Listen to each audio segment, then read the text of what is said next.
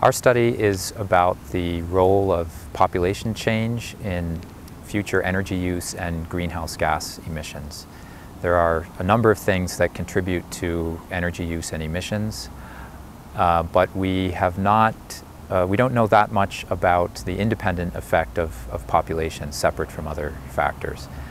So our study was about looking at population changes like population growth, aging, and urbanization and what they may, may mean for future emissions. Our findings were that uh, population changes can really matter to emissions. Population growth, for example, uh, is an important contributor to emissions and we found that if the world followed a slower population growth path, it could contribute significantly to the emissions reductions that some consider necessary to avoid serious climate change impacts. Uh, so in other words, we found that slowing population growth would not solve the climate change problem, but it could make a contribution uh, along with other approaches.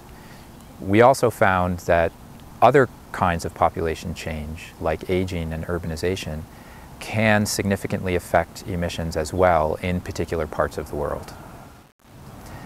This is important for two reasons. The first one is that it's beneficial to addressing the climate change issue to understand better the scale of the problem.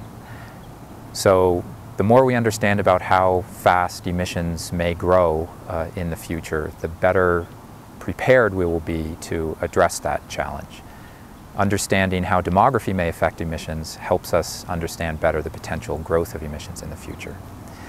Second, there are a number of factors that affect emissions. Population is one of those.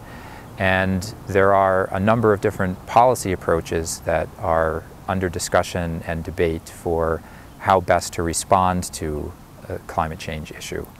And this study can help inform that debate by quantifying uh, the influence that population changes could have on emissions.